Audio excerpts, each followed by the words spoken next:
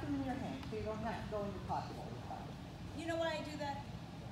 A lot of it is to slow down our training because of this belly issue we have. I'm trying to spread it out so we have more time training. Otherwise, it's over in a flash. As far as Okay. the quantity that I can give. Okay, how many repetitions do you need to do? I don't know. How many do you want me to do?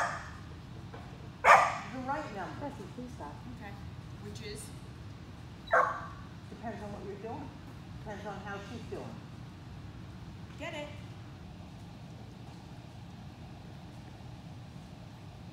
So Reaching in your pocket or not reaching in your pocket should not have any effect on the amount of time it takes you to do stuff. What it does do is say, oh, every time she reaches in her pocket, she's getting a cookie out. I'm gonna wait until I see her get a cookie out, or I might not walk.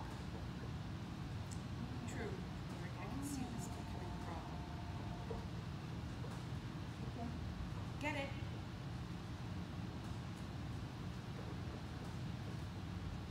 One second less. You're waiting a really long time, Oh, which is fine, she's very good, it doesn't have to be quite that long.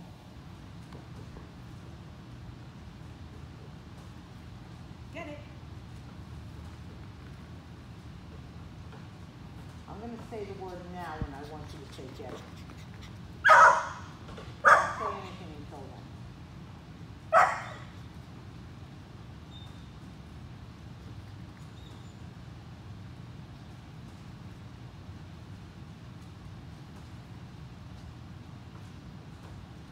Now, Get it?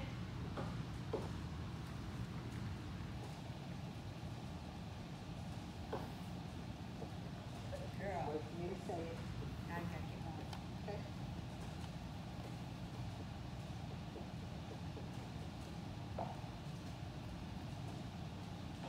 Don't look at me, it's all right, I'm the dog.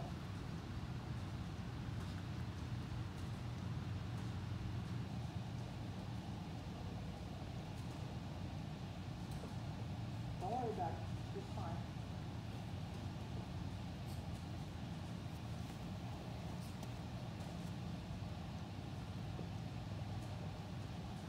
Now, Get it? Do you understand what I'm waiting for? Yep. What am I waiting for? You don't want her to spin. I don't want any of that fucking spinning. Quit that shit, honey. So, I, I get it. now, I get it. now, Get it?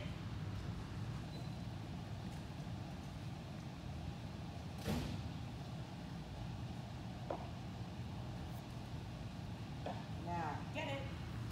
wait for her to hold still.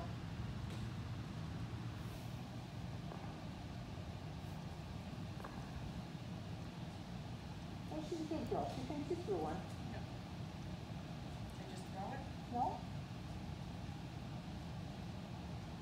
Now, So get it? Get it? good, exercise thing. Walk back to her crate.